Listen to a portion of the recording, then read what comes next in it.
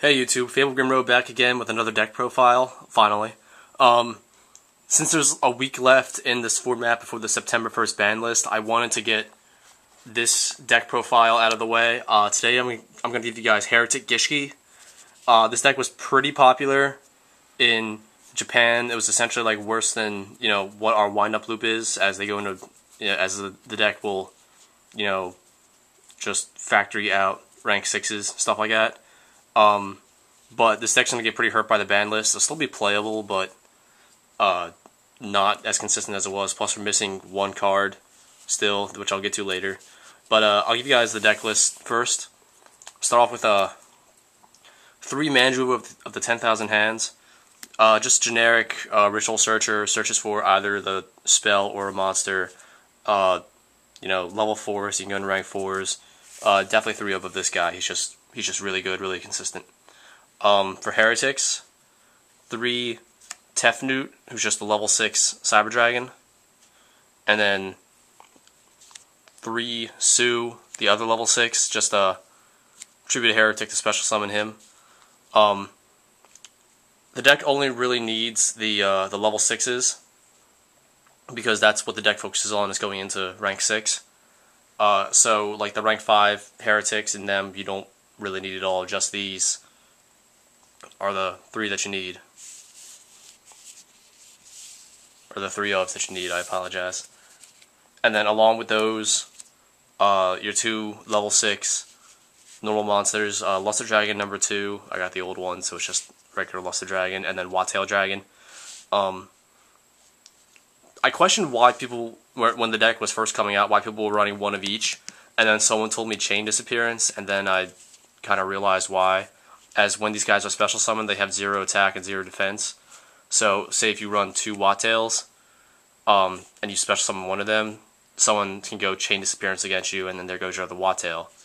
So, uh, a lot of people run one ofs, one Luster Dragon, one Wattail. The stats don't really matter as much. Um, I've also seen people run uh, Alexandrite Dragon as a level 4 normal if you want to go into level 4s. I haven't tried it out in this deck yet, but just another option. But these are the two main ones that anything Hieratic based needs. Uh, for the Gishki side, uh, three Evigishki Gust Krakens. Uh, this is the card that enables sort of the hand loop. Uh, you know, like the wind up hunter of the deck of sorts. Uh, when this card is ritual summoned, uh, you can look it up and uh, random. You can look up to two random cards in your opponent's hand and shuffle one of them back into the deck. So uh, for the September 1st ban list, this thing's going to one just because of how good this deck was, how good this this loop was in the OCG. So uh, I want to get this out of the way while this card's still at three. But uh, this is probably the best uh, Gishki Ritual. Uh, it's searchable by uh, Gishki Abyss, which I'll get to next. Uh, just really good. Uh, it's the deck's still playable with this thing at one, but it's not as consistent. So three ofs for the you know few days that's left that allows it, and and, and then then one ofs.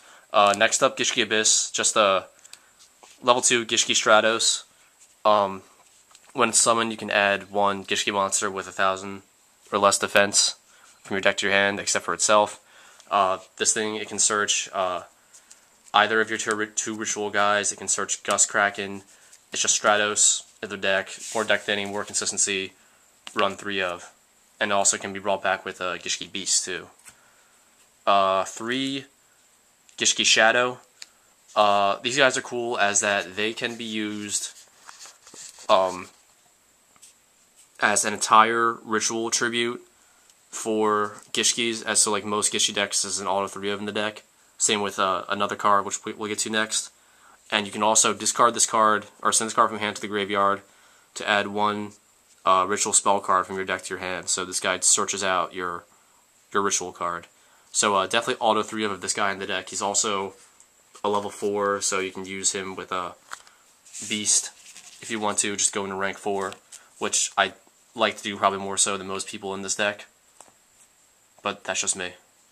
Uh, two vision. Uh, same deal with Shadow in that he can be used as the entirety of a ritual. Uh, and instead, and you can send him from your hand to the graveyard to add uh, a ritual monster from your deck to your hand. Uh, I only run two of him because I have other ways of searching out for ritual monsters, such as uh, Manju searches out for both, uh, Preparation of Rites, and Abyss also searches for both. So only two of these are really necessary. Uh, another fun way to use this card is with uh, Deep Sea Diva, as he's a level 2 Sea Serpent, so he can be searched by Diva. Uh, so you go D summon Diva, search him. You can either go into rank 2 if you want to, or uh, use him. You can tribute him while he's on the field for his effect as well. So just a tutor for him. So I don't run Diva in my deck, but just another way that you can use him. But I run two of him. It's pretty good. And then I also run two Gishki Beasts. I don't see a lot of Hieratic builds play this, probably because it's a little inconsistent and can be dead, but it certainly helps go into uh, rank 4, which as I said, I think I like doing more than I probably should in this deck. But it's just a generic good Gishki monster. Uh, bring back Abyss to get the search, bring back Shadow, uh, and you can have to go into rank 4 to use its effects. Just, uh, just a good monster that I run two of. For spells, starting at 3, Gishki Aquamirror. Probably the most broken ritual card we've had since um, Advanced Ritual Art and Demise were in their heyday. Uh, you can ritual summon uh, any Gishki ritual monster by using this card. Tribute uh, levels equal to the level of the monster, but that rarely, you know, uh, generic ritual stuff. And then uh, you can return this card from your graveyard to the deck, select one Gishki ritual monster in your graveyard to return to the hand. So it essentially recycles back your Gishki monsters and is a free plus one, which helps a lot as, you know, most of the time, or rituals by themselves are generally minuses, but the cool thing about this deck is that it pluses. Uh, the part where Gishkis and Hieratics sort of combine strategies is that when you go Aquamir, the Gishki monsters will get their effects when they're tributed for ritual summons. So you would go Aquamir, tribute your, uh, you know, your rank 6 Gishki, or your, your level 6 Gishki, and then special summon your Gust Kraken, once I find it. So you go Aquamirror, tribute one of these guys, special summon Gust Kraken, and then your Hieratic will get their effects off, allowing you to special summon your normal monster, so you would pop a card from their hand, and then go into rank 6, if you so choose to, or then, and then go off shenanigans from there. So, definitely 3 of Aquamir as it's, like, the key card in the deck. Uh, also, 3 Hieratic Seal of Convocation. This card's going to 2 in September, but it's not such a huge loss as Gust Kraken at 1. But it's just, you know, tutor for Su, tutor for Tefnuit. Uh, just deck thinning and consistency, so, you know, no reason not to run three. Three, Preparation of Rites. This card is extremely good with Gust Kraken, as you can recycle your Aquamirror back in the graveyard, get a Gust Kraken from your deck to your hand, and just do, uh, essentially just a, a free summoning of Gust Kraken. You just get cards out of your opponent's hand. This card is very good as sort of like a loop enabler. Uh, so definitely three of. Very, a very key card in the deck. Uh, two MSTs, just a spell trap destruction, just to cl clear the way of you know a solemn or whatever. Two salvage. Uh, I've seen a lot of people run, not really running this as much in Hieratic Gishki. I'll see some people do it, some people won't, as they'll do like Upstart instead. I'd rather run this as it's a plus one and gets back you know your shadows and your visions that you dumped to the graveyard back to your hand, and you can reuse their effects. So uh, just two is good and then just a generic Heavy Storm, Monster Reborn, and Dark Hole as just to round out the deck. Uh, no trap cards in the deck, just because the deck is, you know, supposed to be very combo-y, and trap cards just slow it down. Uh, for the extra deck, your rank 6 options, along with uh, the Gaia Dragon, just to overlay on top of a dead one. So you got your uh, Atum, good with uh, just Hieratic Dragon the Atum, special summon your dragons. Bounzer and Force Focus are just walking, you know, effect negators. Uh, Bounzer is probably the more generic of the two because it could be any monster and Force Focus has to be level 5 or higher. But both are very good. Uh, Gaia Dragon, rank 7, but you can uh, overlay him on top of a rank 5 or 6, so he's a, you know, sort of like a generic Chaos Monster for high level guys, just a 2600 attack trampler.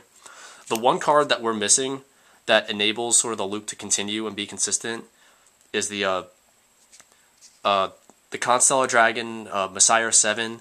He's in like the last Duel Terminal as you go into rank 6 and you can get back stuff from your graveyard. Uh, he's the one card that we're missing to make this loop like possible and playable in the TCG. But uh, outside of that, the deck's very still very good at uh, rank 6 spam with these guys.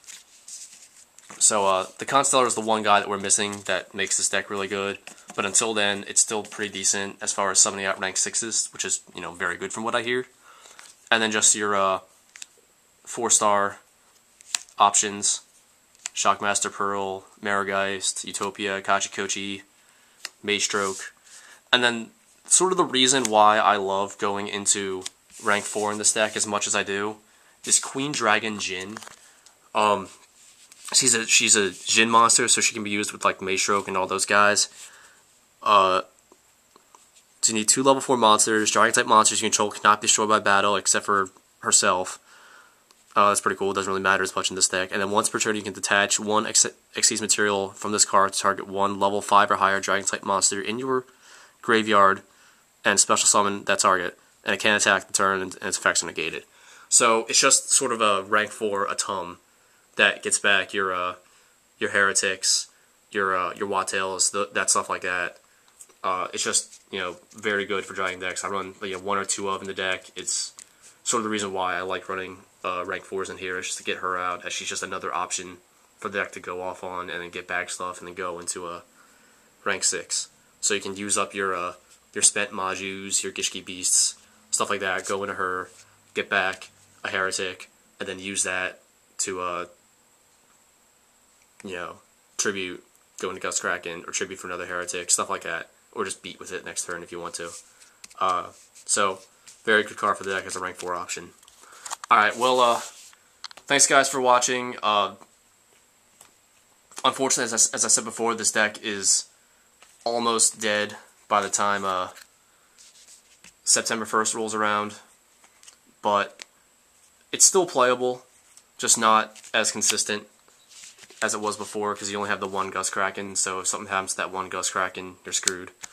But uh, still a very fun deck. Probably the most effective ways to run Gishkis in the meta is just this rank 6 spam until they get their other stuff out with like Zielgigas and uh, Levianima and those guys. Uh, very fun deck, very cool deck. If you guys want to check it out for you know the week that's left in this format or just keep it in mind for next format, I just wanted to show you guys this deck before it kind of goes up in smoke a little bit. But uh, thanks for watching YouTube. Peace out.